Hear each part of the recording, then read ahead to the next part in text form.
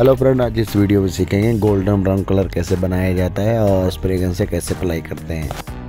Hello friend आज इस video में सीखेंगे गोल्डन ब्राउन कलर कैसे बनाया जाता है। हर एक कोई पेंटर गोल्डन ब्राउन कलर बनाता है, लेकिन सही से जानकारी नहीं देता। लेकिन जो रेसा बनाते हैं, जो गोल्डन ब्राउन उसको कहा जाता है, जो नीचे से नेवल पेंट होता है और हाथ से जो रेसा बनाता है, बहुत ही अच्छा क्वालिटी वाला रेसा और उसका नीचे बेस भी अच्छा होना चाहिए। तो चलो इसको पेंट कैसे बनाया जाता है? बिल्कुल जैनवन तरीके से बताऊँगा, ज़्यादा लंबा प्रोसेस भी नहीं है, बहुत ही आसान तरीका है। ध्यान रखना स्टेप बाय स्टेप बताते चला जाऊँगा।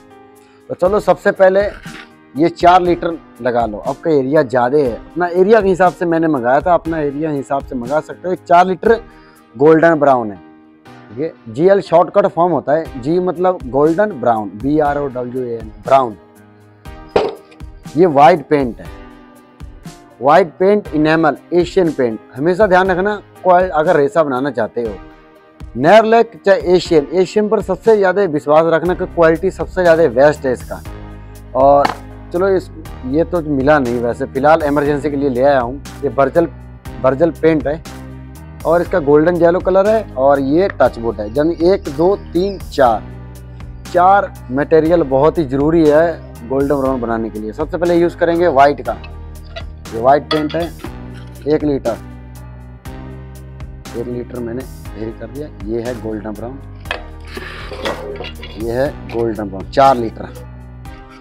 पूरा खोलेंगे इसको, अच्छे ये क्योंकि ये कलर डार्क होता है। लाइट करने के लिए वाइट डालते हैं इसीलिए, और ये जेलो कलर सागवान की तरह टून आ जाए। बहुत ही अच्छा प्रीमियर लुक लगता है रेसा देखने में। ये सब डालेंगे इसमें। भर गया मेरा डब्बा दोनों में फेंटी कर लेंगे। दोनों में फ्रेंड मिक्स कर लेंगे, लेकिन इसमें डाल देता हूँ टचवुड ये टचवुड है। टचवुड आधा लीटर कम रखना दोस्तों एक लीटर जैसे चार लीटर में आधा लीटर बहुत है। थोड़ा सा ज़्यादा रख लेना, कोई दिक्कत नहीं है। और इसके बाद आ गया गोल्डन जेलो। ये गोल्डन जेलो है, इसको भी कम से कम 400 ग्राम डालेंगे इसमें।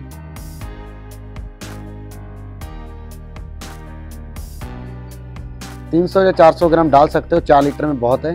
बाकी ये जितना ज़्यादा जैलो टून रहेगा, उतना अच्छा देखने में लुक अच्छा लगता है रेसा चलो इसको मिक्स करते हैं, बाद में तारपिन डालेंगे। थोड़ा सा कचरा फंस गया इसमें। फ्रेंड ध्यान से मिक्स करना। बाद में छान के इसको पेंट यूज़ करेंगे स्प्रे गन से। ब्रश से और स्प्रे गन से दोनों तरीका है करने का इसका।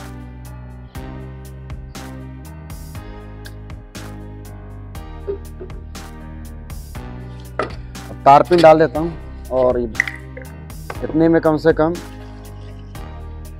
तारपिन फ्रंट कम से कम ये 600 ग्राम है, छः सात सौ ग्राम मेरे हिसाब से। ज़्यादा पतला मत कर देना, नहीं तो ज़्यादा पतला हो जाएगा ये। अब लकड़ी की इसको मिक्स कर लेते हैं। तो फ्रेंड, चलो मिक्स करते हैं इसको अच्छे तरीके से।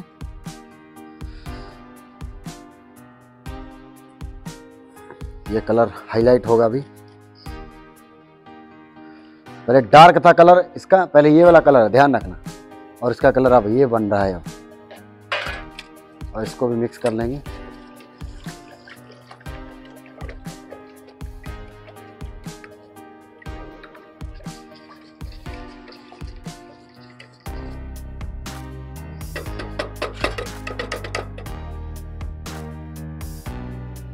गोल्डन ब्राउन कलर अच्छे तरीके से मिक्स कर लेंगे और लकड़ी पर अप्लाई कर देंगे। तो फ्रेंड अच्छे तरीके से स्प्रे गन से अप्लाई कर लेंगे और कहीं भी छूटे ना, और सूखने के बाद ब्राउन कलर इनेमल से रेसा बना सकते हो।